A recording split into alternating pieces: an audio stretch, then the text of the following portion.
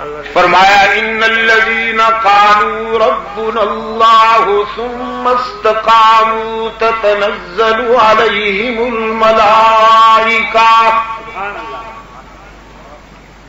यकीनन वो लोग जिन्होंने कह दिया, रब्बुन अल्लाह, के हमारा रब अल्लाह ही है।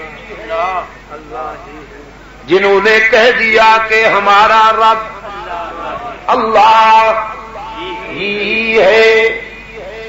और ये वही इकरार है जो आलम आबो गिल की तखलीक से पहले बनी नोए इंसान ने आलम अरवाह में किया था।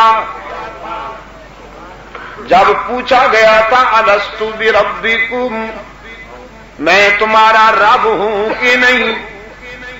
मैं तुम्हारा हाजत रवा हूँ कि नहीं? मैं तुम्हारा कारसाज हूँ कि नहीं? मैं तुम्हारा मुश्किल कुशा हूँ कि नहीं? मैं तुम्हारा मसजूद हूँ कि नहीं? मैं तुम्हारा रज्जाक हूँ कि नहीं? मैं हर जगह मौजूद हूँ कि नहीं? अल्लामुलगयूब हूँ कि नहीं? कालू बला। सबने इकरार किया था, तू ही हमारा रब है। और वो सारी खसूसियात जो रब की हुआ करती हैं, वो तुझसे ही मखसूस हैं। रब्बुल आलमीन ने फरमाया, फिर दुनिया में आकर जिन लोगों ने कह दिया, रब्बुल अल्लाह, कि हमारा रब अल्लाह ही है। तुम मस्तकामू ये इकरार करने के बाद मसायब की अलगार में, आजमाइशों की अलगार में आलाम और उफ्ताद की भरमार में कदम डगमगाए नहीं, पुख्ता रहे। वफादारी बशरते उस्तवारी के मेयार पर कायम रहे। सारी दुनिया को नाराज़ करके मुझसे वफा की। रब्बुल आलमीन ने फरमाया, ततनज्जल मलाइका। फिर हम भी उन्हें लावारिस नहीं छोड़ते। हम भी उन्हें तनहा नहीं छोड़ते। फरिश्ते कतार अंदर कतार उनकी ताई दो हिमायत में भेजते हैं। वो बजाहिर दुनिया में तनहा नज़र आते हैं, लेकिन उन जैसा उन जैसा साहेब दोस्त कोई नहीं होता। रब्बुल आलमीन ने फरमाया, हम उनके दिल में ये तसल्ली उतार देते हैं, ला तखाफू ला तहजनू। तुम्हें खौफ और हुजन की कोई ज़रूरत नहीं। वह अब शुरू बिल जन्ना। हम तुम्हें जन्नत की बिशारत देते हैं, जिसका तुमसे वादा किया गया है। अल्लती कुन तुम तू नहनु अलिया उकुम फिल हयात दुनिया फिल आखिरा हम तुम्हारे दोस्त हैं हमारे लिए तुमसे तुम्हारा बाप नाराज़ हो गया हमारे लिए तुमसे तुम्हारा भाई नाराज़ हो गया हमारे लिए तुमसे सारा मोहल्ला नाराज़ हो गया लोग तुम्हें वहाबी कहते हैं ना तो फिर वहाब भी तुम्हें वहाबी करके छोड़ेगा।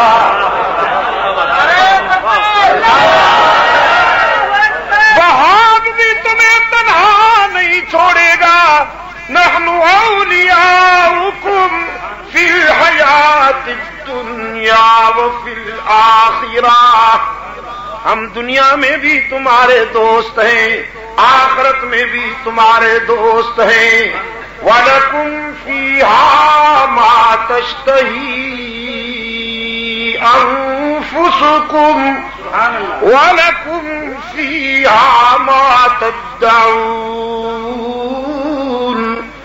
नुजुलम मिन गफूर दुनिया में तुमने इस तरह वक्त गुजारा जैसे हमने चाहा। दुनिया में तुमने इस तरह ज़िंदगी गुजारी जैसे हमने चाहा। अब हम आखरत में तुम्हें वो देंगे जो तुम चाहोगे। दुनिया में तुमने हमें राज़ी कर दिया। अब आखरत में हमने भी तुम्हें राज़ी करने का फैसला किया है। और ये तुम्हारे रहीम करीम रब की तरफ़ से तुम्हारे लिए इनाम है। मुख्तसर सा तर्जमा। कुरान करीम के उस हिस्से का जो अभी अभी मैंने आपके सामने तिलावत करने की शहादत हासिल की। अल्लाह के उन सच्चे दोस्तों की बात कुरान करीम ने बताई, जिन्हें औलिया अल्लाह कहते हैं। जिन्हें? औलिया अल्लाह कहते हैं। और औलिया अल्लाह की पहचान यही है कि वो बहार हो के खिजा, ला इलाहा कहते हैं, और कालू रब्बुन अल्लाह के मैार पर पूरे उतरते हैं। कुरान करीम का एक वर्ग, अल्लाह के सच्चे दोस्तों की कहानी, कुरान की जुबानी, माशरा पटड़ी से उतरा हुआ है। माशरा पटड़ी से उतरा हुआ है। सोसाइटी आस्ताना परस्ती के दल दल में उलझी हुई है। झंडियाँ लहरा रही हैं। जुल्फे बढ़ाए हुए फनकार नजराना बटोरने के लिए ऑफिशियल स्टाइल बनाए फिरते हैं। मेला लगा हुआ है। बड़े साहब भी आए हुए हैं।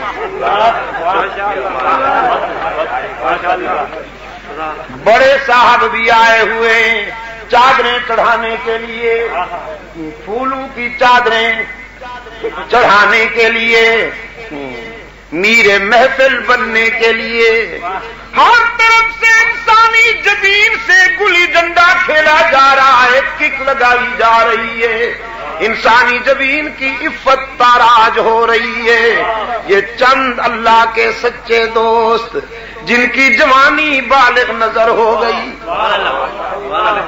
जिनकी जवानी बालिग नज़र हो गई, जवानी बालिग नज़र हो गई, इस बिगड़े हुए माशरे में, बीमार सोसाइटी में हक को सदाकत का निशान बनकर उभरे, पूरे माशरे को ललकारा, ऐलान कर दिया, हम तुम्हारे खुद साख्ता पुतू के आगे नहीं झुकेंगे।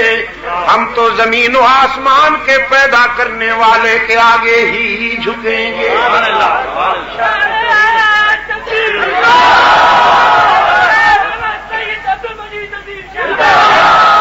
अदालत बपा हो गई बड़े साहब मुश्तिल हो गए कि नक्श अमन की बात करते हैं।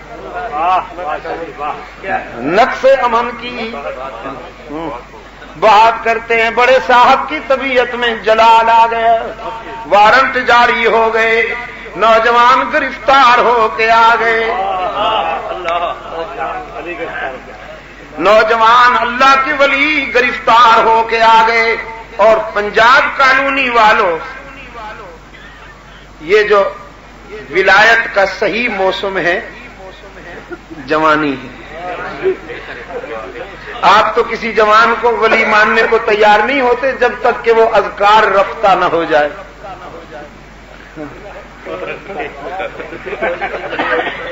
अस्सी नब्बे साल का ढांचा हो, कुछ कर न सके, वली बन जाए।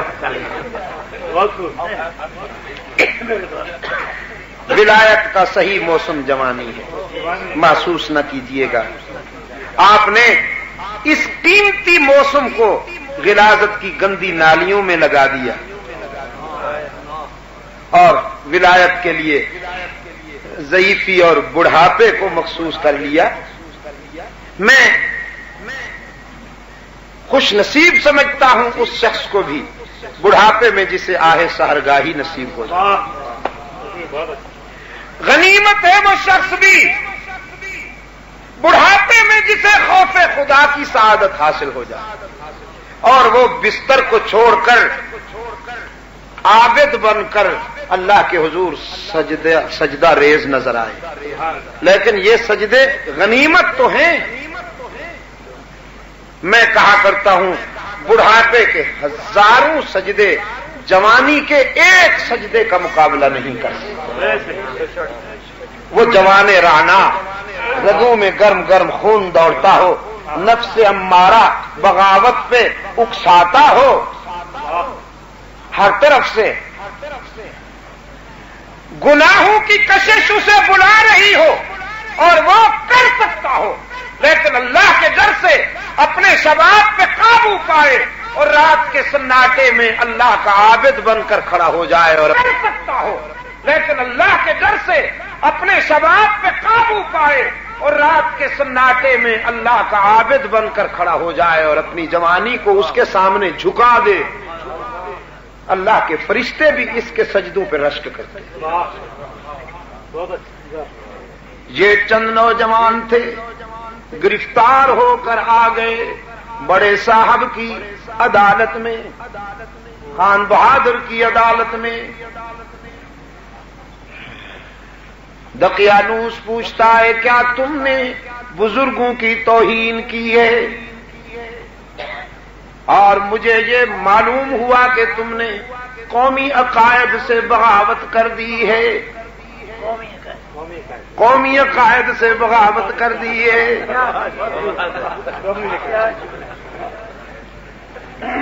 काश के मैं इसकी डिटेल अर्ज़ कर सकता। लेकिन मरा दर्देश अंदर दिल अगर गोयम जमा सो जाए वगर दम दरकशम तरसम के मगजे उस्तखां सो जाए बहुत से राज हाय सरबस्ता ऐसे होते हैं जिन्हें नेहा खाना दिल में मस्तूर रखने पे इंसान मजबूर होता है। कौमी अकायद के बागी हैं ये आस्थानों पे नहीं झुकते नौजवानों ने कहा, रब्बुना रब्बुसमावाति वल अर्ज़ देखा ना? बाहर हो के खिजा। रब्बुना रब्बुसमावाति वल अर्ज़ बड़े साहब की अदालत में अल्लाह के वलियों का बयान। पता नहीं उनकी तारीख में तो रिकॉर्ड हुआ या नहीं, लेकिन कुरान की तारीख में अल्लाह ने उसे रिकॉर्ड कर दिया। फरमाया, रब्बुना रब्बुसमावाति वल अर्ज़। हम तुम्हारे खुद साख्ता बुतों के सामने झुकना इंसानियत की तजलील समझते हैं। हमारी ज़मीन की आजदियाँ तो उसके लिए वक्फ हैं, जो जमीनों, आसमानों का रब है। बात हो गई थी? बात हो गई थी ना? लन्नदू मिंदू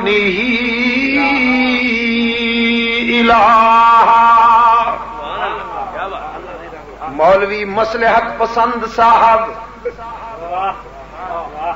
हज़रत चाहते हैं कि